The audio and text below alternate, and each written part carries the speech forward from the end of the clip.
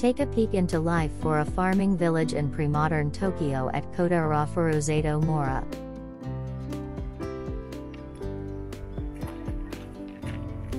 Explore eight restored or faithfully reconstructed buildings dating to the 17th and 18th centuries. The exhibits take you through the history of the area. Cultivation methods and technology of the day. And how the typical farming family lived.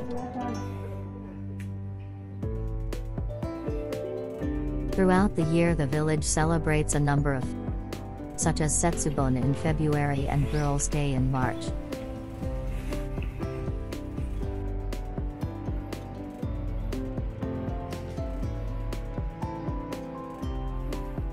And holds Kamishibai plays.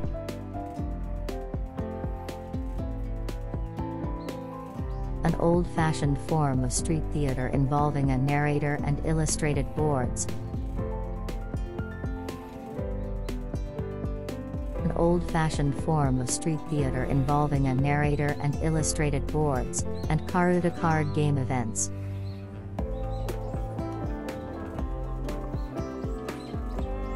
If you are lucky, you may also be able to enjoy their delectable handmade Musashino udon noodles.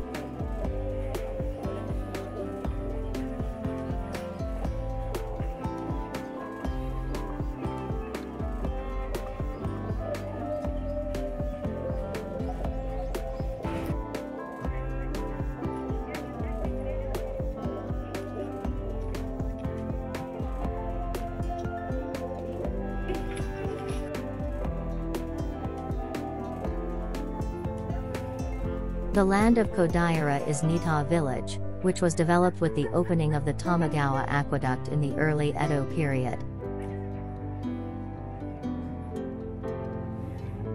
In the past, along the Ome Highway and other roads that ran east to west, there were rows of farmhouses surrounded by forests of mansions.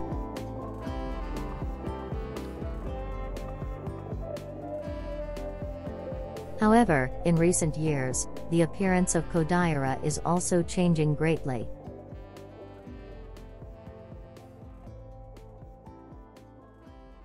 Under these circumstances, Kodaira City dismantled and stored four buildings, including the former Ogawa residence entrance building, which had been donated.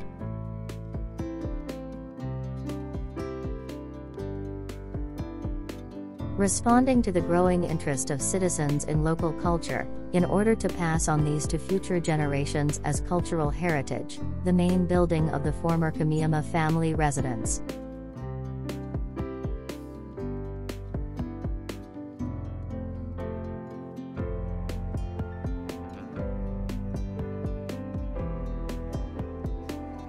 Experience what life was like in a farming village.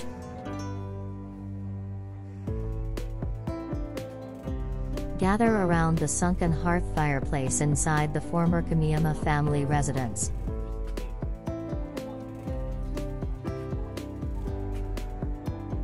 Learn how villagers used water to grind grains. Visit the former entrance hall of the Ogawa family residence, the family that developed the Tamagawa Josui Canal and subsequently founded Ogawa Village, current-day Kodaira.